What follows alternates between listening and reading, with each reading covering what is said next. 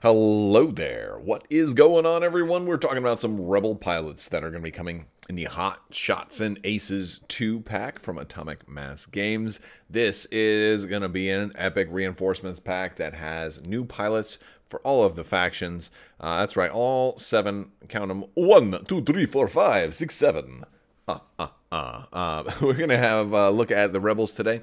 Presumably, AMG will continue to be doing previews of this pack and uh, hitting up all of the different factions and uh, giving you guys a great update on what to expect in this pack. And of course, we will be doing an unboxing uh, when this does come out as well. So we'll be taking a look at that. Uh, if you guys are new here to the channel, we are giving away a lightsaber in the form of a $200 Amazon gift card. All you have to do to enter to win that is be a subscriber and leave a comment on this or one of my videos. It's as simple as that. Plus, we're also doing 12 Days of Life Day. Uh, that is going to be happening in December. So people who comment and leave a uh, and are subscribed are automatically entered to win one of the 12 different giveaways we'll be doing throughout the month of December. and of course, that lightsaber giveaway is running all the way until uh, the end of the year. So that'll be announced early January as well.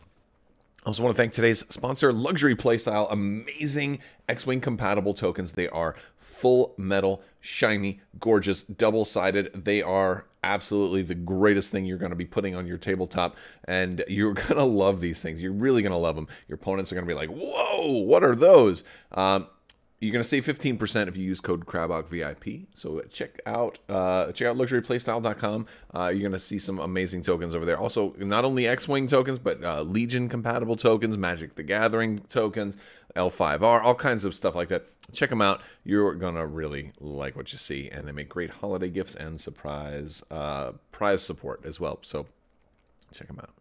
All right, so we're going to take a look at a couple of uh, the pilots that were spoiled in a recent article from Atomic Mass Games. Uh, first off, we're looking at Corran Horn and uh, Keo Venzee.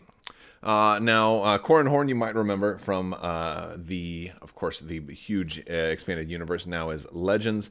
Uh, I could have sworn that Corran Horn kind of had, uh, you know, that was going to have Force or something like that. I thought they were going to, I thought they were going to sneak some Force on Corran Horn, but they did not, apparently. But what we do have is uh, we've got a, a, kind of a cool ability. We'll talk about Corran Horn first. Um, he's uh, initiative 5 in an X-Wing. He is, uh, after you declare the defender of an attack, if you have a lock on the defender, a, fr a friendly ship may transfer their lock token from you to the defender. So basically, Corran Horn can go in, take a lock, and maybe somebody else who's behind him can eventually get that lock early. Um, he's going to be nice with kind of like low uh, low torpedo or missile uh, platforms. Maybe Y wings can get there. You know, low low initiative Y wings can still get um, you know get their lock and be able to shoot. He's usually one of the problems that like a, a, low initiative ship will have is you know I need to get a, a, lock on this ace, but they're out of range and I have to move first, and I'm not going to be able, I'm going to be too far away to get my lock, and then they're going to move in. Um, and then then I'll be I'm just gonna have to shoot them with the main gun uh, so Corran Horn is kind of helping to alleviate that. Not the strongest ability ever because it does require some setup. It doesn't work necessarily with with every build uh, as well. But uh, but he's also an Initiative 5 X-Wing, so that's going to be good. It's going to be interesting, though, to see what his point, where he's point costed at, what kind of loadout points he's given. Uh, and that's going to, I think, also be maybe more important um, uh, onto the Corran Horn pilot card. Moving on to uh, Keo Venzee. Uh, Keo Venzee was one of the characters who was from Star Wars Squadrons. Uh, they were uh, like I think one of the, the, like the yellow tattooed face alien that was that was there. Um, so so that's who that's who they are. Uh, if you have no active force, right? So they have a force ability and an A-wing initiative three, uh, but it's not. This is important. It's not a recharging force. So it's like it's just a one shot. Like they have a little bit of force. Um, if you have no active force after you reveal a bank maneuver or a turn maneuver, you may increase the difficulty of the maneuver. If you do, perform uh, that maneuver as a side slip and recover one force. Uh, and then, of course, vector thrusters in there. So this is an interesting, like, I, I don't think in the game they were force sensitive. And and so I'm thinking to myself, I'm like, well, this is an interesting mechanic because wouldn't it have worked as a charge instead. But the thing is, when you have the force available, at least you can change the die. So I think I think the goal was to give them, you know a little bit of benefit when it's up, but then also a benefit when it's down, um, but not unlimited force. So it's not like you know. So maybe they're just lucky, you know, and maybe this is like maybe the non-recurring force charge is a way to kind of represent that. I think that's pretty. I think that's pretty cool though. Um, but then again, maybe I need to go back through my lore. Maybe they actually were slightly force sensitive. I think uh, you know if if you're fans of of like old uh, EU and stuff like that too. I think we one of the things we remember is there were a lot of uh, people in the galaxy that were at least partially force sensitive, but not necessarily you know high enough levels to become a Jedi. And so maybe that's where that's where maybe that's where Keo kind of uh, fits in. That's an interesting one. But being able to do side slips is cool, but you can only do that when the force charge is not active. So if like you had no, you can't just spend it on your own. You have to like either be attacking or defending to even have an opportunity to spend it. So if you do get to spend it, then you have the side slip. So you're not going to actually start out being able to do crazy side slip, you know, strafing kind of side slip maneuvers, which are really cool, by the way. You're and, and you get to choose when you reveal the maneuver too. So like the timing of that is really cool. I think it's gonna be. Uh, I think they're gonna be a really fun pilot. More fun maybe than Corran Horn. Corran Horn's got the higher initiative though, but but that's still pretty cool.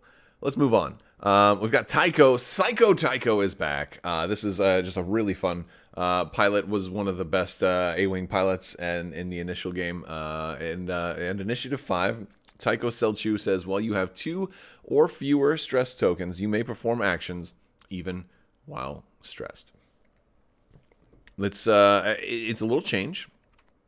You can't just have infinite stress tokens now, but you can still have a lot you can still have a lot because it's not fewer than two, but it's two or fewer. So that means if you have one stress token or if you have two stress tokens, you can still perform actions.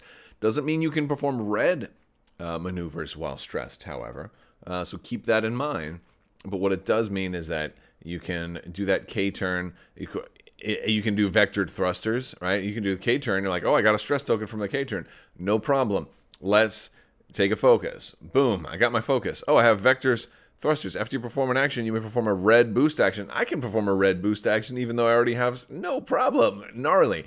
And so, like K turn into boost, uh, you know, with a focus. And now you have two stress. Um, and, and, and then you're fine. You do, you know, and you can even do it again next turn, kind of. You, you can do part of it. Um, you can't do another K turn though, right? So like uh, you know, it, it, there's a lot of fun. Uh, it's Tycho's gonna be super super fun. Um, I think he's going to be. Uh, I think. I think this is going to be a real, a real groovy uh, A-wing to fly. We also have Wes Janson, uh, and uh, you may remember Wes Janson as uh, who he was uh, Wedge's Wedge's gunner. You know, good shot, Janson. Wes was in X-wing 1.0. Uh, one of the more popular X-wing pilots. Uh, even though when the X-wings weren't that good, they were still Wes was still pretty good. Um, uh, Initiative 5 pilot says after you perform an attack, you may spend one charge to assign the defender a jam token. After you defend, you may spend one charge to assign the attacker a jam token. He's got one charge recurring. This is very similar to the original ability Wes had. I believe Wes came with the GR75 transport. He was one of those alternate X-Wing pilots you got uh, in in that because it had the little it had Porkins and stuff like that where you know had some extra X-wing pilots and the extra X-wing X escort model in there. Um, but uh, but yeah, but this is nice that uh, Wes is still Initiative Five, can attack pretty early, jam a lot of folks. You know, all those in other Initiative Fives or Initiative Fours uh, and and lower. You know, go for it. Like take uh, take those tokens off before everybody else lower initiative. Great, great kind of a uh, great squad leader if you're running like a bunch of X-wings or or similar that are maybe slightly lower initiative, or if you're running a bunch of initiative fives, you might make a great uh, uh, first first striker. You know, so pretty cool. And last but not least, we've got Pops. Uh, Pops is, you know, it's funny when I see this this the the the framing of this picture and the card it almost makes me think of the original gold squadron art because like i'm like wait is that is that y-wing's shoulder a little too far forward? You know i'm like no no i think that one no i think the perspective is right on that one. But for those of you who remember the old gold squadron uh, y-wing uh, had the kind of the really uh, bad perspective on on the two little nacelles that I had, and uh, so it was really fun. It's a good uh, good kind of a little thing to laugh at for uh, fans of the uh, original X-Wing Miniatures game. Uh, but Pops comes in at Initiative 3. Uh, this is an actual build your own Pops, not necessarily the Pops we see in the Battle of Yavin. Um, and so you're going to be able to do some customizing with this one. It says after you fully execute a white maneuver, you may choose a friendly ship at range 0 to 1. If you do, it may perform a focus action. And so what the cool thing about this is Pops, you know, I think Pops is going to be a good torpedo delivery system. Uh, Pops is initiative three, so might want to fly well with Janson to get that target lock early. Great idea. But even without Janson, I think Pops can work well uh, on, on his own because you can move in, take the target lock, right? But oh, you won't have to worry. You'll be double. You'll be double modded because if you do that white maneuver, if you move in, you move forward, you do like a three straight or something like that. Um, you're gonna get a free focus action. It's pretty cool. Um, but the cool thing about this is that it can be another ship. So, like, you know, I think a lot of people are to say you may choose a friendly ship at range zero to one, and you you can do that to yourself if you want. Um, but I think pops will also be fantastic for other folks. It can be somebody who's already gone. It can be somebody who hasn't gone yet. It can be somebody who's getting ready to do a red maneuver uh, that might otherwise not be able to take a focus. So you can help somebody to do that K turn and still have an, a focus token on them uh, because he's lower initiative. That kind of gives you, you know, a little bit of protection for your aces, a little bit of extra added on protection. So I think that that's pretty cool. Um, but the thing is, you have to fully execute the white maneuver, and you also have to be close to them. You have to be range one of another ship, or range or or range zero. I like. I, if you fully executed the maneuver, you're probably not range zero. Probably not range zero. You know, so I, I, I don't know.